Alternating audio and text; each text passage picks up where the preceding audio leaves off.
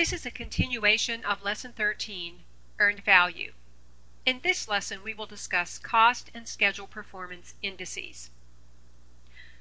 An effective way to analyze how efficient your project is progressing is to calculate cost performance index and schedule performance index.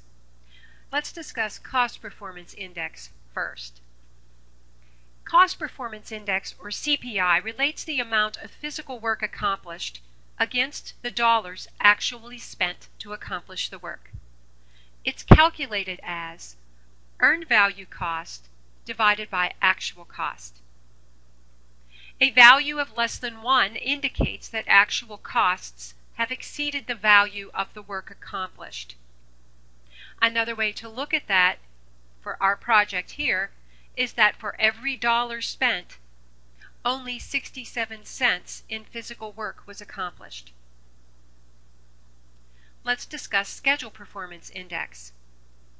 Schedule Performance Index, or SPI, relates the physical work accomplished against the amount of work that was planned.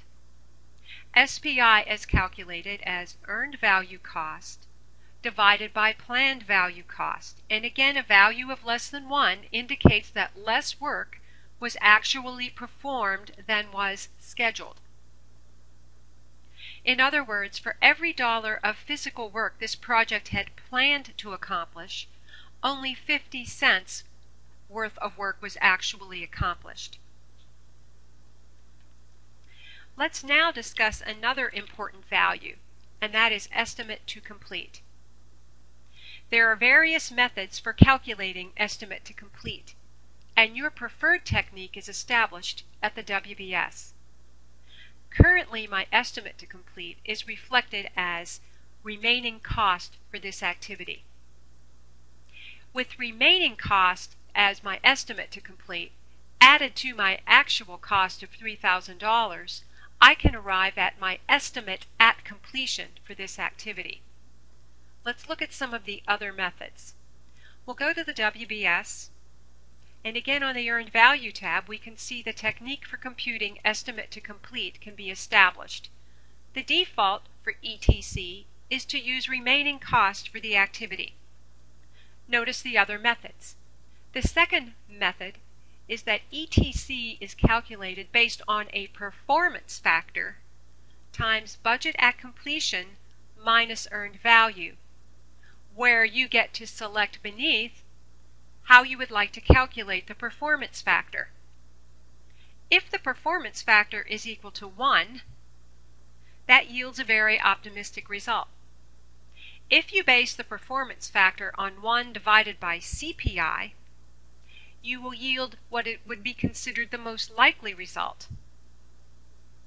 If the performance factor is 1 divided by cost performance index times schedule performance index, you yield a very pessimistic result. So let's take a look at each one of these examples. Let's start with using a performance factor of 1. When we go back to our activities window, we'll see that our estimate to complete changed from remaining cost for the activity to the value using performance factor equal to 1. In this example, you can see this yields a very optimistic result which was actually better than our previous result, of $9,000 for estimate at completion. Let's go back to our WBS and let's establish that we would like our performance factor to be 1 divided by CPI.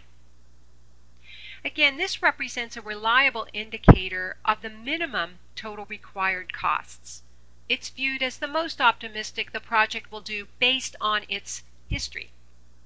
So if we go back to our activities window now, we can see that our estimate to complete is now set to $9,000 and estimate at completion is $12,000. Going back to our WBS, let's revert to performance factor equals 1 divided by CPI times SPI. This gives the most pessimistic result.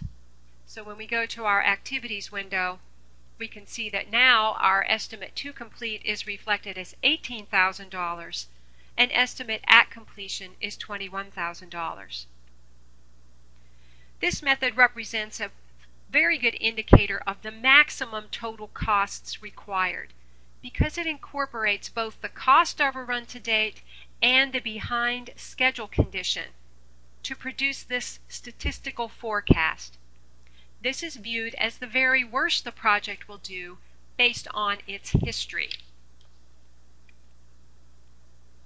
This concludes Lesson 13 regarding earned value.